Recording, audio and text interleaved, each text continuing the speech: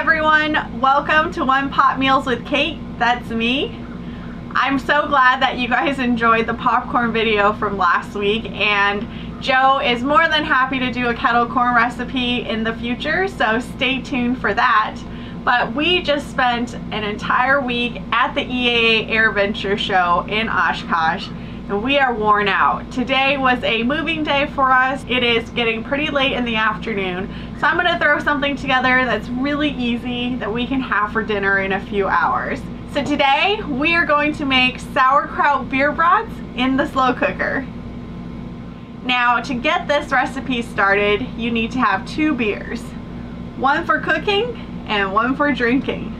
Cheers! I really hope you enjoyed this episode of One Pot Meals. The great thing about this recipe is you just need three ingredients. Sauerkraut, brats, and beer. Today, I'm going to use Pabst Blue Ribbon.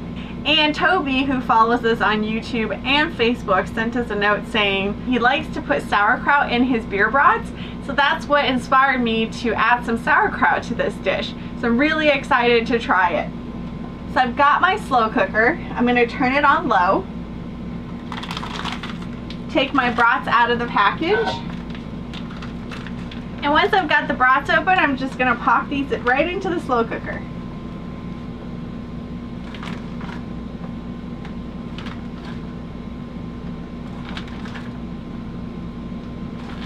Give my hand a rinse. We've got the brats in here. I'm going to add some fresh sauerkraut that we picked up at the local grocery store in Wisconsin. I would say this is probably about a cup and a half to two cups worth. And I'll just dump this right into the slow cooker. And last, pour the beer in. Still good. It's always good to double check and make sure And that's it. There's a pound of brats in here, about two cups worth of sauerkraut, and one can of beer. I'm gonna put the lid on, let this cook for a few hours, and we'll have dinner soon. And for those of you who are into aviation, if you haven't checked out our coverage of the EAA AirVenture show, I will put a link in this video so you can check it out. We had an amazing time. It's been a few hours. The house smells like sauerkraut, which we both happen to like. Uh, but if you don't like sauerkraut, I forgot to mention this, feel free to leave it out. The beer brats are just as good without it. And you can always add onions if you like. But I'm really excited to taste this. Now let's fish one of these out. So I decided not to add any additional seasoning cooking this. I know some people like to add butter and spices, salt and pepper. I just decided to leave it as is because the brats are already well flavored.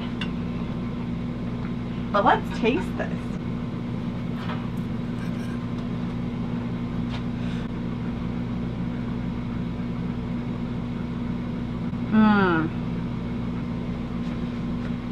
Hold on a second. We're missing something. You really get the beer flavor, the sauerkraut. Now Joe's gonna douse this in yellow mustard.